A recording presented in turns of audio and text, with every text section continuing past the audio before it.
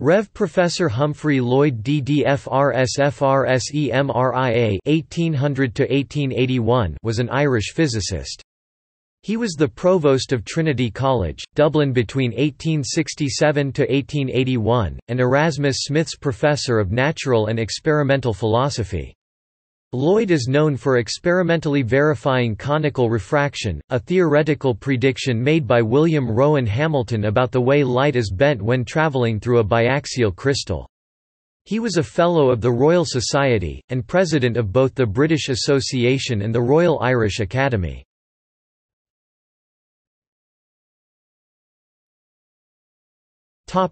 Early life The eldest son of the Rev. Bartholomew Lloyd, and his wife, Eleanor McLaughlin, he was born in Dublin on 16 April 1800. After early education at Mr White's School in Dublin, he entered Trinity College, Dublin in 1815, first out of 63 competitors in the entrance examination. He was elected a scholar in 1818, and graduated B.A. in 1819, taking first place and the gold medal for science, and preceding M.A. in 1827, and D.D. in 1840. He became a junior fellow in 1824, and a senior fellow in 1843.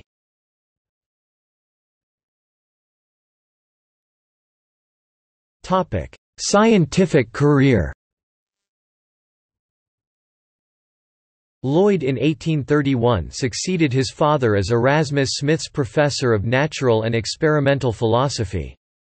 At the meeting of the British Association in 1833 he spoke on his establishment by experiment of the existence of conical refraction in biaxial crystals, in conformity with the theory of William Rowan Hamilton.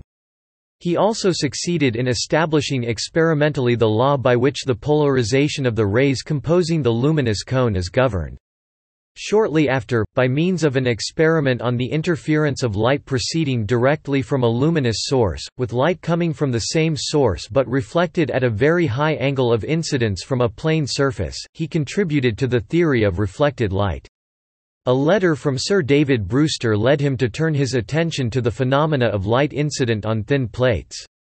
In 1841 he submitted a communication on the subject to the British Association, and in 1859 he described his investigation of the phenomena to the Royal Irish Academy see Transactions, Volume XXIV. When the Magnetic Observatory of Trinity College, Dublin, was established under the auspices of his father, it was placed in Lloyd's charge, and the instruments for it were devised by him and constructed under his superintendence.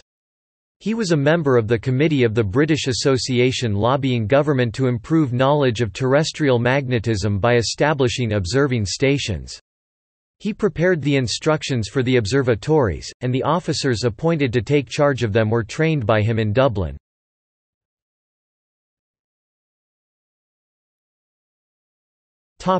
Later life From 1846 to 1851 Lloyd was president of the Royal Irish Academy, who in 1862 awarded him their Cunningham Gold Medal. He resigned his chair of natural philosophy in 1843, on his accession to a senior fellowship in Trinity College. In 1862 he became vice provost, and in 1867 was appointed provost, in succession to Richard MacDonell. He was president of the British Association in 1857, when it met in Dublin, and delivered an inaugural address, which was published, in which he gave a sketch of the recent progress made in astronomy, terrestrial magnetism, and other branches of science. Lloyd was a leading member of the General Synod of the Irish Church, which came into existence on Irish disestablishment, and took part in its committee for the revision of the Prayer Book. He died in the Provost's House, Dublin, 17 January 1881.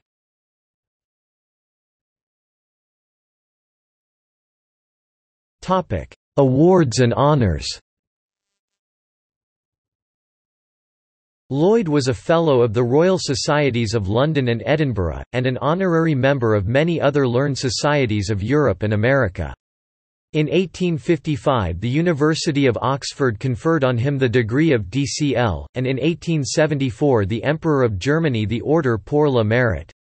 A bust of him, by Albert Bruce Joy, was placed in the library of Trinity College in 1892.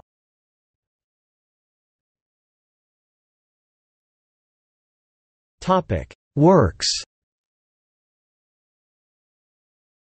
In 1834 Lloyd furnished the British Association, at its request, with a report on the progress and present state of physical optics see report for 1834.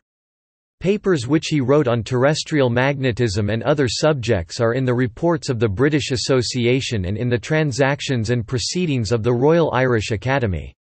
Besides tracts, his other published works were A Treatise on Light and Vision, London, 1831.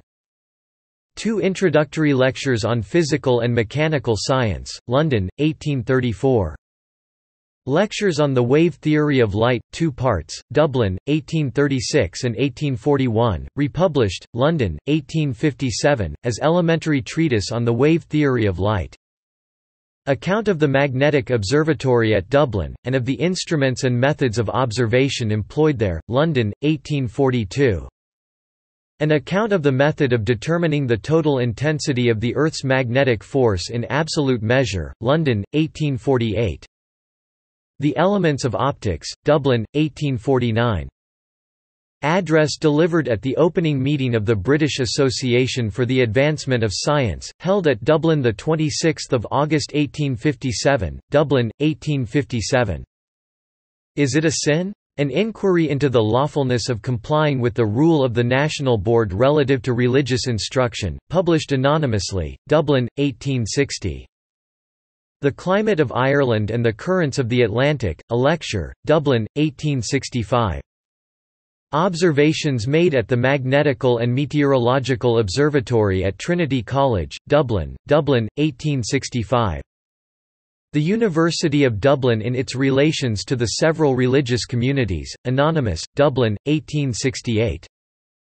The Doctrine of Absolution, Dublin, 1871. Treatise on Magnetism, General and Terrestrial, London, 1874. Miscellaneous Papers Connected with Physical Science, London, 1877.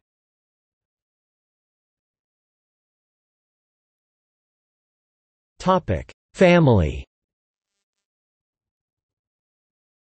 Lloyd married, in July 1840, Dorothea, only daughter of the Rev. James Bulwer, rector of Hunworth Cum Norfolk. He had no children. Notes